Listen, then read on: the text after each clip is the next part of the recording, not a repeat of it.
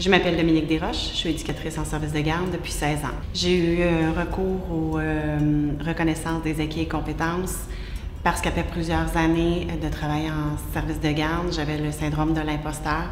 Donc, j'avais jamais euh, la satisfaction d'avoir terminé mon diplôme, malgré plusieurs essais depuis euh, les dix dernières années. Donc, avec la reconnaissance d'acquis et de compétences, j'avais euh, la possibilité d'atteindre mon but. Et c'était aussi par défi personnel pour accéder à un poste supérieur.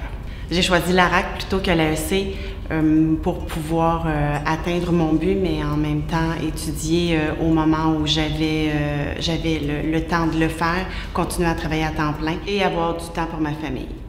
Pour la remise des travaux, suite à la production du travail, on n'a qu'à envoyer le, travail par courriel à la responsable du, de l'ARAC ou on peut venir le déposer au cégep à la formation continue. Les observations en milieu de garde se font simplement lorsqu'on est rendu à l'étape d'une observation. Euh, on prend rendez-vous avec la spécialiste de contenu. Elle vient directement dans notre milieu de travail pour nous évaluer. Je demeure à Chambly, donc euh, pour moi c'était accessible de venir au Cégep de Saint-Jean et je travaille à Brossard, près du centre de formation.